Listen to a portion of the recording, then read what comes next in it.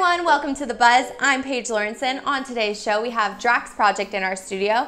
Then we're on the red carpet of The Curse of La Llorona. We have some amazing Buzz news, and then talk to Cat Deeley of So You Think You Can Dance to talk about what we can expect on the new season. As you can see, we have a very full show, so let's get this party started. What's up, people? Let's get buzzing.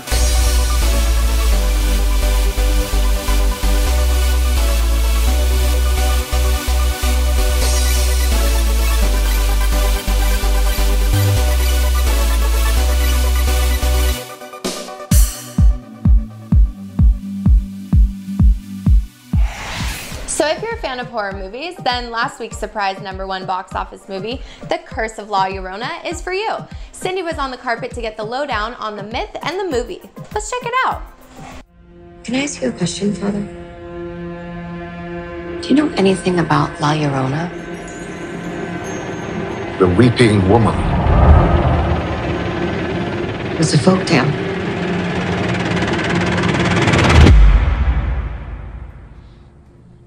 To some. Oh my god, it was so fun. It was so fun. I always knew who she was and I always wanted to be in a scary movie. I love horror films. I love anything that has to deal with the supernatural or uh, metaphysics. And I always wanted to be the scary element in a movie. And when this came up, it was just great. I just couldn't wait to do How it. did you channel to get into character? Like, how did you prepare? Um, uh, well, I think uh, just my own anger. Can I say that? Yeah. I guess my own anger, and um, I, you know, I see her as a codependent woman who uh, needs to be validated by a man, and when he takes his attention from her, she loses her mind to the point where she this like takes uh, precedent over even her own children, and she commits the most heinous crime. When she realizes what she's done, she it's like her mind unhinges and she kills herself and then this spirit is kind of in limbo she's full of anger full of sorrow and just trying to remedy the situation but she can't and the kids. We just had a great time. We worked really hard because it's very athletic to be in a in a horror movie. Everybody's like screaming or crying or running, and so by the end of the day, we're all exhausted, but we had so much fun together. Anything scary happen on set? A lot of stuff. A lot of stuff. Ray had this crazy experience where his bracelet burst off his hand. There was a day where it was it was really really hot and a cold chill just came through the house. There was another day where there was nobody supposed to be upstairs and we heard footsteps. It was just one of those kinds of The things. The director was talking about that. Yeah, Okay. yeah, yeah. Okay. And I didn't believe in it at first, but now, mm, yeah. Thank you. Thanks. You know, it is. Um, I love ghost stories. I love scary movies, and um, you know, I, you know, I, I was brought in by New Line, and you know, James, uh, James saw my short, and it was a scary movie. It was basically a little scary short film, and um, you know, there's something about that that you know, I, I love the experience of seeing scary movies in theaters, and um, I think that they really connected to that, and I think that you know I love the script. You know, I heard about her as a teenager. I grew up in Los Angeles, and my friends would tell you know, was you try and scare everybody with like you know ghost stories and you know freak everybody out, and you know I've heard so many of them, but. Um, I think that La Llorona sticks with people because it's so specific and so dark, you know, about a mother who, you know, kids kills her children, and you know that really, you know, it's like you think about. I mean, of all the ghost stories that you hear, I mean, there is something so specific, and you know, but you can also really relate to it. You know, we've all been kids, we all have moms, and hopefully not crazy moms like that, but uh, but yeah. And how was it working with the cast and the crew?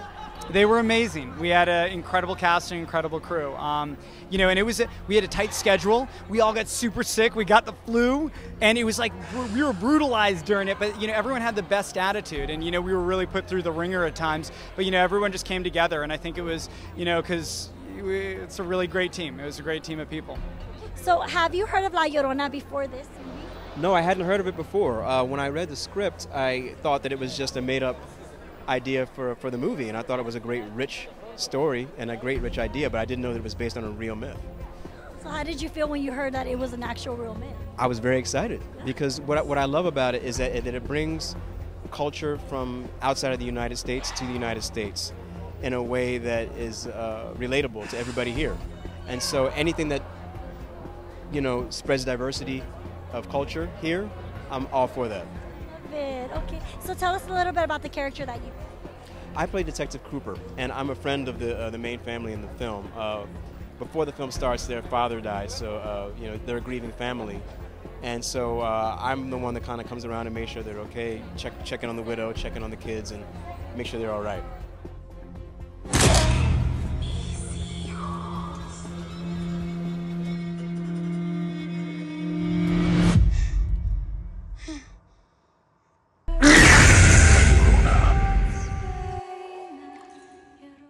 Hi, my name is Sean Patrick Thomas, and you've just been buzzed. After the break, we have Drax Project in our studio to talk new music and their smash hit, Woke Up Like This. We'll be back after this.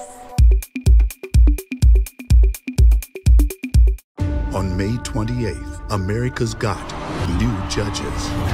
You are a star! And the talent that was amazing. will make history. OMG.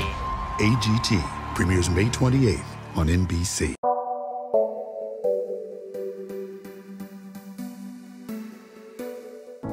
Every artist is looking for one thing that next great song. From an executive producer of The Voice and executive producers Adam Levine and Dave Stewart comes a show about creating the next great song. The show is giving songwriters a real opportunity to pitch their songs. We're going to pull back the curtains and we're going to show you how music is made.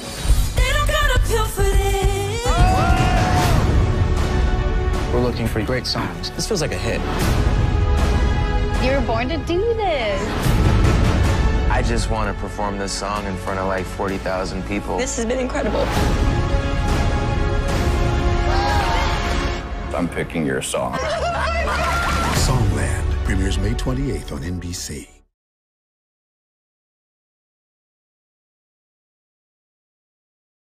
I remember being at university uh, with Sean and Matt, and then walking down Courtney Place, and you know, going to see them um, play like and busk, and yeah, I remember you guys just like saying, "Oh, it's just we're just literally doing this for cash to pay rent," and and it actually did spiral completely out of control. It's Right. funny. And then after we started busking, Sam joined.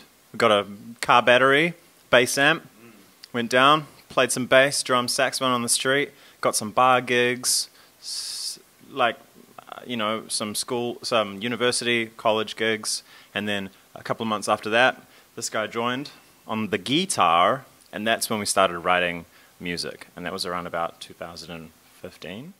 Yo, we're Drax Project, and you're watching the Buzz Artist Spotlight. Woke up late, somewhere far away from home. Pockets empty, wallet gone. Sun is streaming all on down in my face. Laying down on someone's bed, a girl that I had hardly met. My head is spinning like I've been days. Now you're waking up to lying next to me in your room. Now I'm quite used to someone so new. Did you catch my name? Yeah, I wonder how long I've slept in. I don't know where the hell I've been. I know that's alright.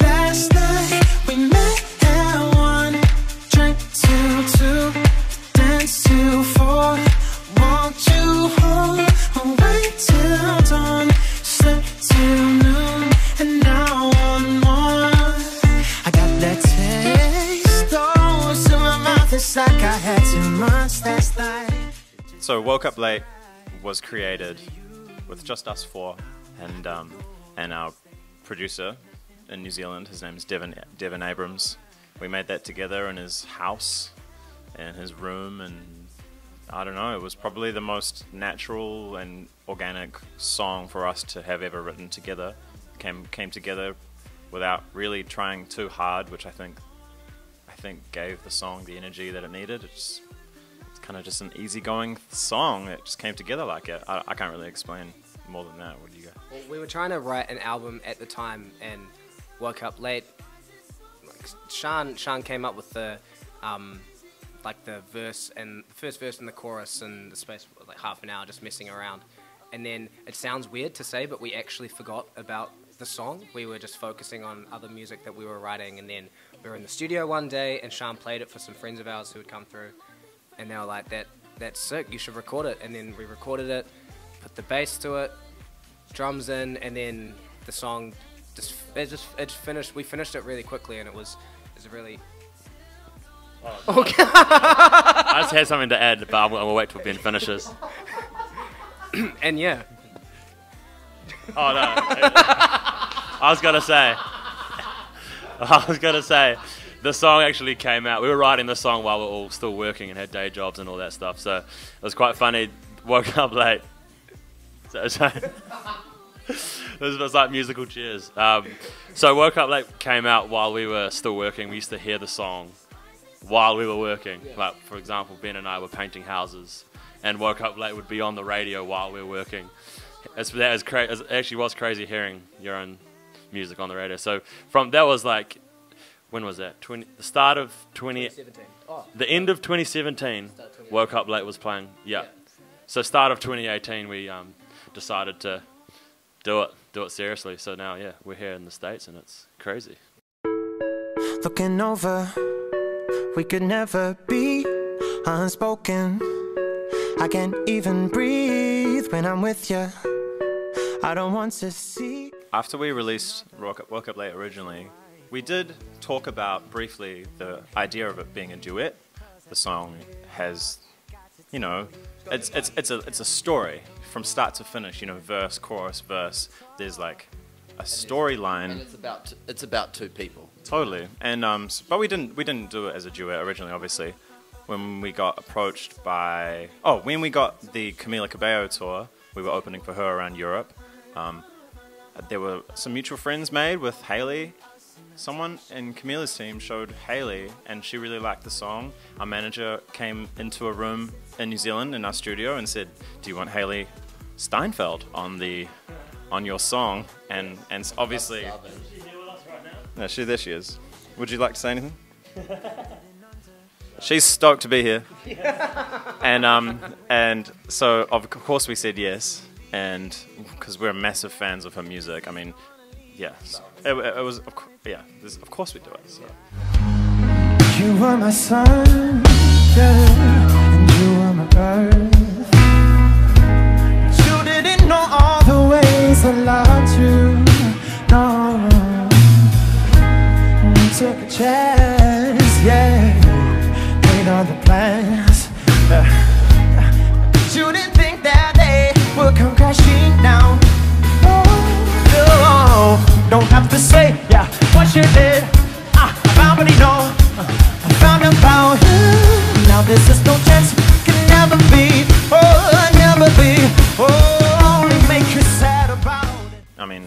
love performing live. That's our jam. Like that's fully like we were a band playing music before we were writing music, you know. So playing live. Done a lot of shows over the years. Done heaps of shows. We used to- We'd probably do like a hundred shows a year before Woke Up Late came out. or more than that, honestly. We were playing so many shows. Yeah. So yeah, we'll never not love playing live, but um, recently, like since woke up late, and we've been refining like our writing process. Um, being in the studio is definitely like a whole different type of fun, especially when we're working with like such talented producers and songwriters. It's it's just a totally really different exciting. ballgame. Eh? Leaving leaving the studio after writing something, you just can't wait to get home and listen to the the bounce you call it, the Yeah. MP3 of it. Yeah, And, and it, um, it's always like you spend the whole day writing it, and then like right in the last, I don't know, just at the end of the day, like Sean will track vocals, and then you'll be listening to it. It's like, oh, it's actually sick, man. it sounds good. and then, and then like the satisfaction of going back and and and listening to it um, and figuring out what you like and what you don't like and then refining the song and you know finishing it off sanding all off all the rough edges and and giving it a nice paint of glossy and then going and playing it live. Yeah. And then playing it live after that. We actually, I mean, speaking on behalf of all of us here, we've gotten so much better as a group, as individuals, at writing music, and the stuff we're making now is so much better than what we've made before. And I mean, that's just from our perspective. Obviously, new music always gonna is gonna feel cooler and fresher. But we've been sitting on some of the songs we've been writing for, you know, six six to twelve months, even longer some of them, and um, I feel like the songs we're going to release on the album and anything that comes out as a single, we're we're personally just like so happy. Yeah, we're we're we're um. I mean, I hope that it tops what we've done before. We all feel, I think, that it is. We'll just have to wait and see, though. I guess. We've got heaps of songs that are done or like 80% done, you know, nearly just need the um, like finishing touches and stuff. But at the moment, we're just in the process of selecting what will actually be on the album and what we're going to save for later on. We're Drax Project, and you've just been buzzed. We got buzzed. Why is it so, so easy with the lights down? Why is it so, so We'll be back after the break with some breaking buzz news, and then we head over to So You Think You Can Dance to talk about the new season with host Cat Deeley.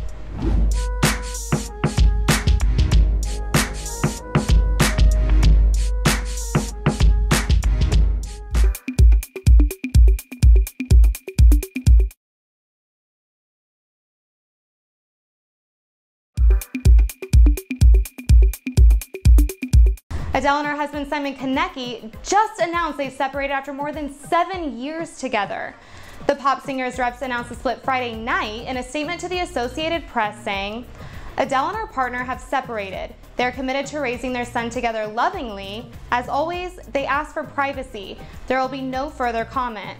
The last time Adele and Simon were together in public was back in January when they were photographed arriving backstage at an Elton John concert at the Staples Center in downtown Los Angeles. Adele and Simon have mostly kept their relationship low key since they started dating back in the summer of 2011. She gave birth to their only son Angelo in October 2012. Adele and Simon eventually got married in a super secret wedding ceremony, but she didn't confirm their union until 2017. Hopefully, this is not the end for them. The story is still developing, so for more information, please go to www.thenewmusicbuzz.com. I'm Marissa Cleal, and you've just been buzzed. So You Think You Can Dance is now in its 16th season, and we caught up with host Cat Deeley to talk about some of the show's noticeable changes and new judges. Let's take a look. My whole thing is I really enjoy people. I like people who are exceptionally talented. I like people who are passionate. I like people who um, work hard, who try hard, who have a dream, who have a story. And so when I speak to people. I mean, this is the first stage, and it's so I, lo- I love it. I don't know whether it's just because I'm nosy uh, or I like a gossip. That's probably why I've lost my voice. Essentially, um, but I like people, and I and, and I really enjoy it, and and um, it's interesting to see. You know, so so often we make judgments on people, particularly now on social media and and everything else, and there's so many judgments made on everybody and and comments, and it's actually like we should all just be a bit kinder to each other because the minute you start talking to somebody, you find out their story, and you find out you know things that have that you know trials and tribulations of their lives and things that they've overcome and and um, I don't know and then to see them perform as they do I I couldn't be prouder and then for them to move on from the competition and go and do like people like Twitch and who's who's doing amazingly well and movies and Travis who's winning winning Emmys. Like I feel so proud. Um, so yeah yeah thanks and season 16, do you still get just as excited? Yeah, I really do. I, and we've got a new, brand new set too. We've got a brand new judging panel. So it feels very fresh actually this season. Um, so yeah, I always do get excited. You never know quite what you're going to get. You never know quite what someone's going to do. You can think that you do, but you never ever do. And we love, we love. Listen, we love the crazy. We love the good. We love the great, the bad. Even you know, we we, we like it all. There are two new judges. We have uh, Laurieann Gibson, who's very, very, she's very strict. She's asking an awful lot from these guys. She's she's strict with the dancers. She's strict with the judges. She's not strict with me though at all. She's a pu- she's a pussy cat with me. But um, yeah, so it's interesting to add that dynamic to, to it. But she's always constructive with her criticism. You know, you somebody who's had that kind of career, you have to listen to what they have to say. You know, it's only ever going to be better for you. And also the thing is, is you know what it's like if you go on an audition, you learn more from the ones that you don't get than the ones that you do. Actually, it's much tougher, but you learn a lot from those. Uh, and then we also have Dominic D-Trix, so he's on the show too, which is lovely because he brings an element of I've been there, I've done that, I know exactly how you're feeling and what's going through your brain right now. But he's also naughty and funny and a reprobate, and I love having him there and him being all twinkly and sparkly. Yeah. So thanks, yeah. Cat. Thank, you. Yeah. Thanks. Thank you so much. Thank you very.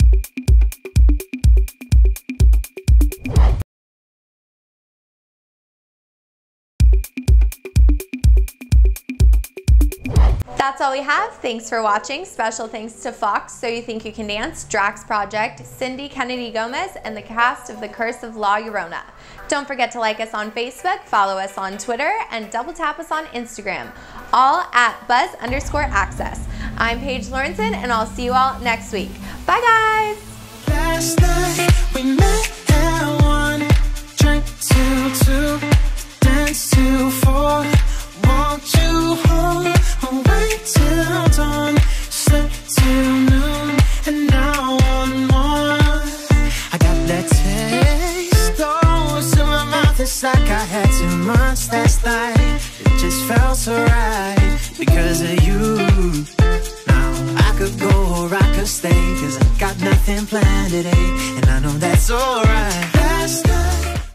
music entertainment news, go to www.thenewmusicbuzz.com.